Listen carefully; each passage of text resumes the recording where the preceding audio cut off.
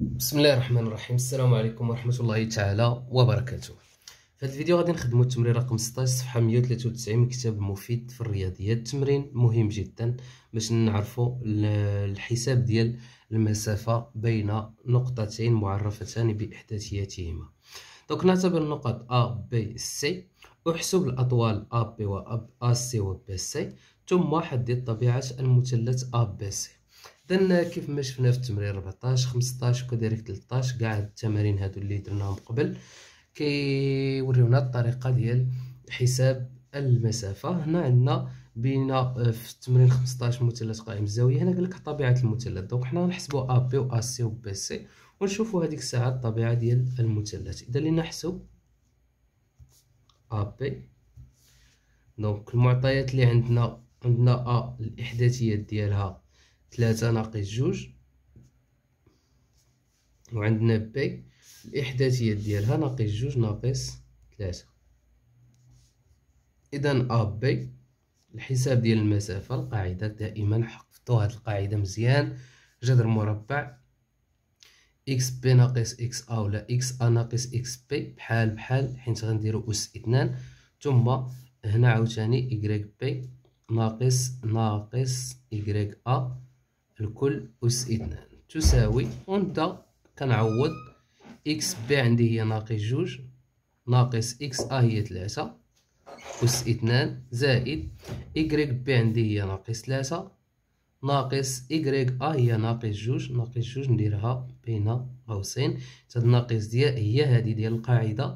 وناقص جوج هو إكغيك أ donc ما تغلطوش في الاشارات تبان لك ناقص تخلي أنت هاد ناقص. donc ناقص جوج ناقص ثلاثة هي ناقص خمسة أس اثنان هي خمسة وعشرين. زائد ناقص ثلاثة ناقص ناقص غتولي عندنا هنا زائد. ناقص ثلاثة زائد جوج هي ناقص واحد. ناقص واحد أس اثنان هي واحد. donc هي جذر مربع خمسة وعشرين وواحد هي ستة وعشرين. donc هذه المسافة AB دابا غادي نمشيو نحسبو المسافة. AC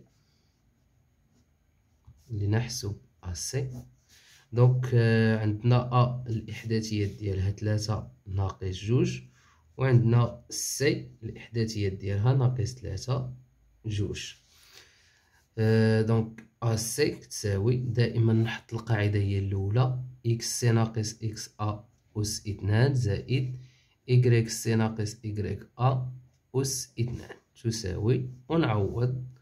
x عندنا هي آه، ناقص ثلاثة. x A هي ثلاثة. أس اثنان زائد y C هي جوج. ناقص إكغيك أ هي ناقص آه، جوج. تساوي. جذر مربع ناقص ثلاثة ناقص ثلاثة هي ناقص ستة. ناقص ستة أس اثنان هي ستة وثلاثين. هنا ناقص ناقص غتولي زائد جوج زائد جوج هي ربعة أس اثنان هي ستاش donc هي جذر مربع ستة و ستة جوج تبقى واحد جوج و ثلاثة خمسة. donc AC كتساوي جذر مربع اثنين وخمسين ثم بقات لنا الحساب ديال BC لنحسب BC donc عندنا B الإحداثيات ديالها ناقص جوج ناقص ثلاثة. وعندنا C الإحداثيات ديالها ناقص ثلاثة جوج. donc BC تساوي قاعدة xC ناقص xB ولا xB ناقص xC بحال بحال قلنا yC ناقص yB أس إثنان. تساوي جذر مربع نعوض إكس سي هي ناقص ثلاثة xB هي ناقص جوج أس إثنان زائد yC هي جوج. و yB هي ناقص ثلاثة. أس إثنان. donc هي جذر مربع آه ناقص ناقص غتولي زائد ناقص ثلاثة زائد جوج هي واحد. واحد أس إثنان هي واحد. هنا جوج ناقص ناقص غتولي زائد جوج زائد ثلاثة هي خمسة. خمسة أس إثنان هي خمسة وعشرين. donc واحد زائد خمسة وعشرين هي جذر مربع ستة وعشرين. donc حددنا BC لقيناها ستة وعشرين AC اثنين وخمسين ولقينا AB حتى هي ستة وعشرين. donc لقينا AB كتساوي BC. donc مادام عندنا جوج الأضلاع ديال المثلث متساويين اذا هذا المثلث فهو متساوي الساقين. نرجعوا للسؤال الثاني. قلنا لقينا آه السؤال الثاني. donc لقينا AB كتساوي جذر مربع ستة وعشرين و BC حتى هي لقيناها كتساوي جذر ستة وعشرين و AC لقيناها كتساوي جذر اثنين وخمسين. لقينا هاد الجوج هادو هما اللي متساويين واضح؟ donc AB كتساوي BC donc لدينا AB تساوي BC. اذا المثلث C متساوي الساقين. فين متساوي الساقين AB BC النقطة اللي كتعاود هنا وهنا هي B donc الراس هو متساوي الساقين الراس ديالو رأسه B donc المثلث بحال هكا. هذه هي BA و BC. donc BC هاد المسافة لقيناها كتساوي هاد المسافة BA و BC. هنا عندنا AC كتساوي جذر خمسة وعشرين. donc هنا يقدر يكون عندنا مثلث متساوي الساقين ويقدر يكون مثلث متساوي الساقين وقائم الزاوية. donc خصنا نعرفوا واش قائم الزاوية ولا لا متساوي الساقين. إحنا جاوبنا عليها ولكن باش نجاوبوا على أنه قائم الزاوية أكبر ضلع عندنا هو جذر خمسة وعشرين. donc غنديرهم كاملين أس إثنان أس إثنان. آه غندير هنا لدينا أكبر ضلع هو AC. donc AC أس إثنان هي جذر جذر اثنين وخمسين أس إثنان هي اثنين وخمسين.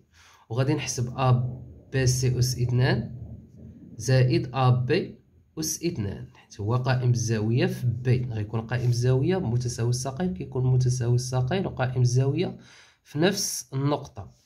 donc BC عندنا هي جذر ستة وعشرين أس اثنان زائد جذر ستة وعشرين أس اثنان حيت AB حتى هي كتساويها. هي ستة وعشرين زائد ستة وعشرين ستة زائد ستة جوج جوج زائد جوج ربعة واحد ديال الاحتفاظ هي خمسة اثنين وخمسين. لاحظوا هنا اثنين وخمسين وهنا اثنين وخمسين. إذا حسب قبل ما ندير حسب مبرهنة فيثاغورس غندير AC أس اثنان لقيناها كتساوي BC أس اثنان زائد AB.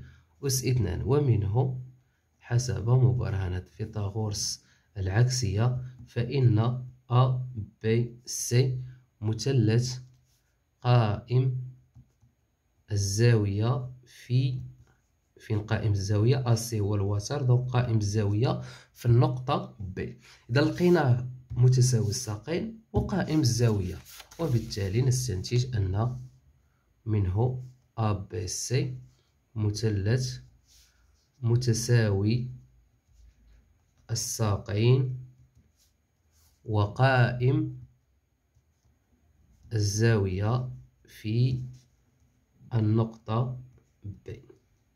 donc لقينا هذا المثلث قائم الزاوية وفي نفس الوقت متساوي الساقين.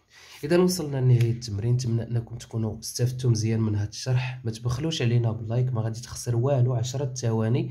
غدير j'aime تخلي شي تعليق إلا فهمتي ولا ما فهمتيش خلي لنا شي تعليق. وبارطاجي الفيديو في مواقع التواصل الاجتماعي إلا داخل شي مجموعة ولا شي جروب ديال الواتساب بارطاجي في هذا الفيديو. ما غتخسر والو. وحنا معكم إن شاء الله باش تفهموا الدرس مزيان. الدرس ساهل ما فيه شي حاجة ولكن لابد من التمارين باش تفهموه مزيان. يلا تلاقاو في فيديو جديد. تابوناو في la chaîne تابوناو في الصفحة ديال الفيسبوك باش يوصلكم دائما الجديد والسلام عليكم.